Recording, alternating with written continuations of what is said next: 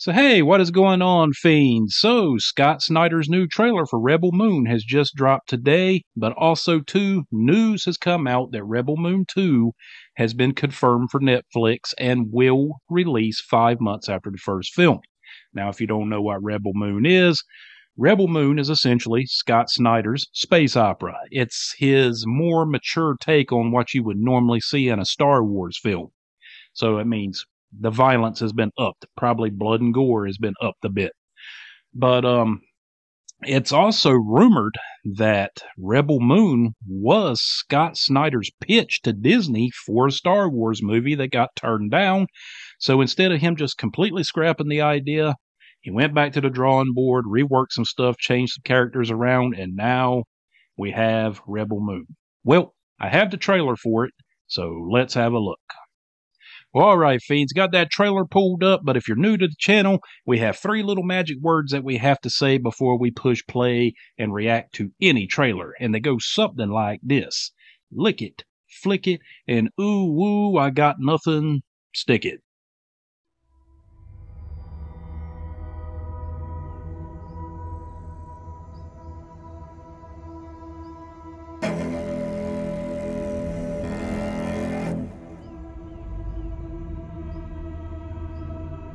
Know the story of the Princess Issa?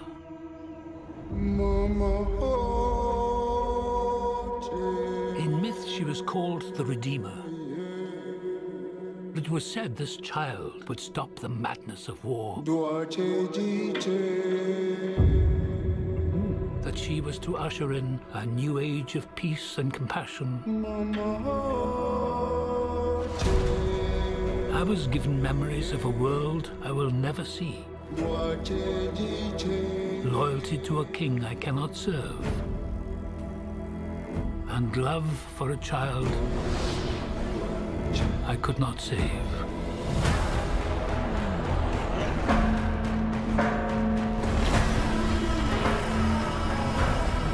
What do you think they want? Everything. I found her. The Scar Damn, son, she badass. I'm a child of war. I was taught that love is weakness.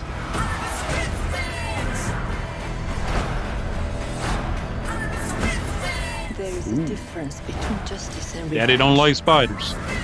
Damn, they got lightsabers now, too? is a price to pay The for defiance.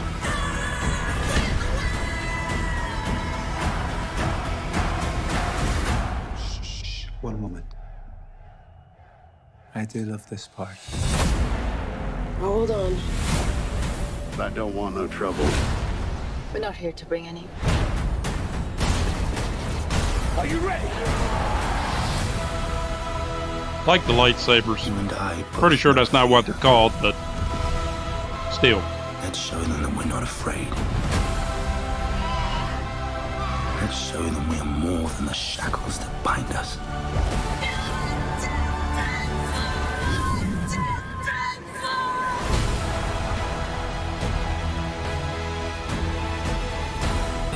Is a man, and a man can fail.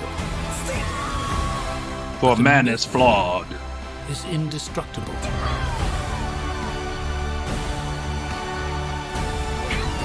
The time has come for all that you love. Protect each other. and Is that Charlie love. Hunnam?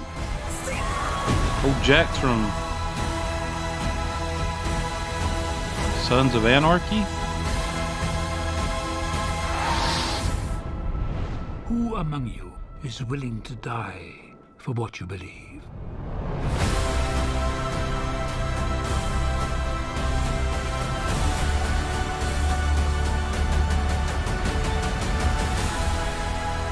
December 22nd. Part 1, A Child of Fire. Part 2, The Scargiver, April 19th, 2024. Only on Netflix. Is it going to do the? Guess not. It's alright. It's very heavily influenced by Star Wars. There's no denying that. I mean, for God's sake, they even have their own lightsabers, so but I don't think it's just Star Wars influenced. Um, I think there's a lot of Dune influence in this as well.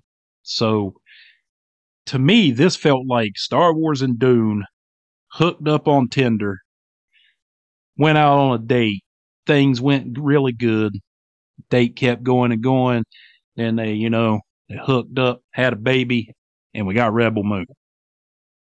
Best way for me to describe it. But it just seems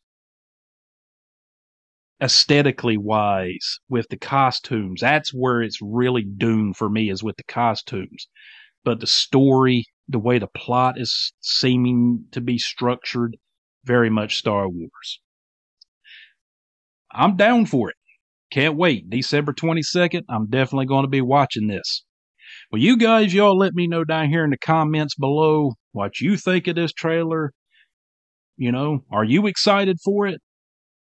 Or you're like, yeah, whatever. Also, too, if you're new to the channel, could you please go down there and hit that little subscribe button? Really helps us out here. And also, too, we have a gaming channel, BT Fiends Gaming, where I am currently playing Bioshock. If you would, please go over there and give that a sub as well. Also, too, give us a thumbs up. Helps us out here with the old YouTube alber, uh, YouTube algorithm.